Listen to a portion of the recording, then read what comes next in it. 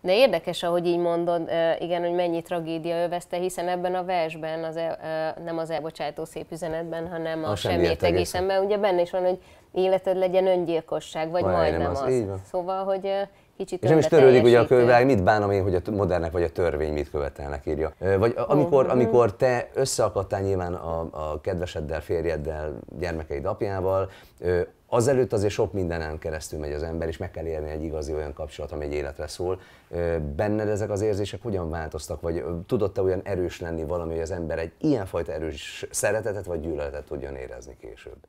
és, és akkor ez, ez egyébként nagy lökést adott, hogy, hogy akkor én írással akarok Van helyed a költői világban is, van, van célod a jövőben, Igen. hogy tudjál írni? Hát egy szerintem ilyen, ilyen, ilyen, ilyen fiatalon ez, ez olyan elég jó bátorítás Aha. volt, volt egy ilyen szép díjátadó ünnepség is, és, és utána még elég sok verset írtam, amik sajnos nincsenek meg, mert, mert ugye ez még az internet kora előtt volt, és és ezért nincs meg ez a Szabó Lőrinc fordítás sem, mert papírra írtam, uh-huh. és hát azóta annyit költöztem, hogy ezek sajnos így, így szét, szét maradtak különböző pontjain a, a világnak. Látod, ha nem költöztél, hanem költöttél volna sokat, akkor Mennyivel jobb, igen, vers. igen.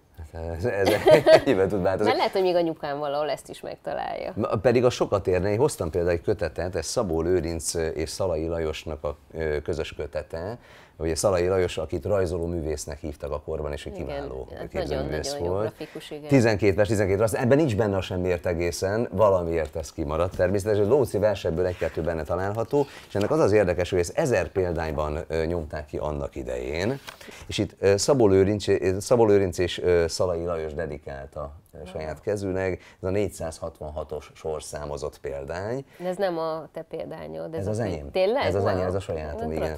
Van, van egy pár olyan kötet, amit így őrzök a, nem is a fiók mélyén, mert ezeket ugye jó lapozgatni, meg megnézni, de ez konkrétan az például, hogy ő, ő dedikált. De ez ekkor még nem volt annyira, hogy mondjam, rémiszten elvakult, mint ahogy lett később, de azért már itt is érződik az írás, az előszónál, hogy nem egészen úgy gondolkodik, mint, mint egy átlagember, fogalmazunk így. De az érdekessége ennek tényleg ez. Elég sok mindent megtudtunk rólad, én még nagyon kíváncsi lennék azért ezer más dologra, hogy mondjuk tíz év múlva hol él benned egy Szabó Lőrinc semmiért egészen, hogy a semmiért vagy az egészen oldalán, de te mit jósolsz? Hát ez egy jó kérdés.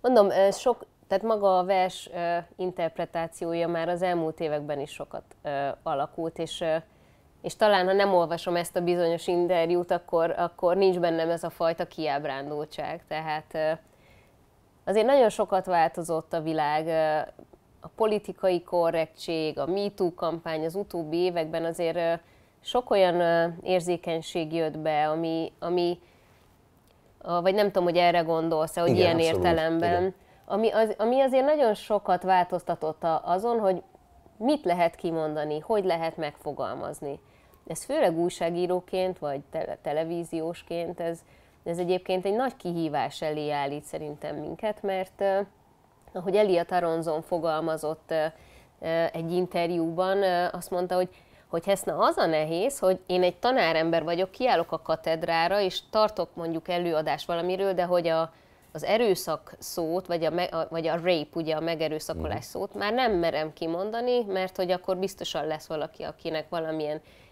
érzé, érzékenységet okoz, és hogy, és hogy elindult egy olyan, egy olyan irány, ami, aminek nem tudni, hol lesz a vége, de hogy, hogy már át, kezdünk átesni a ló túloldalára.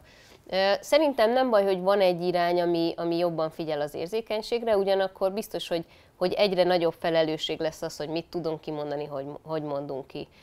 Én ugye főleg, hogy külpolitikával és érzékeny témákkal foglalkoztam annak idején, ugye sokat foglalkoztam például az izraeli-palesztin viszonyal, ami... Neked a, könnyű volt az nőként? És nőként könnyű volt, és, és igazából én sok, sok szempontból azt gondolom, hogy nőként nekem bizonyos szempontból egyszerűbb dolgom is volt, mert több helyre bejutottam, kevésbé feltételeztek rólam negatív dolgokat, jobban a, jobban a bizalmukba fogadtak azok, akik háborús terepen éltek.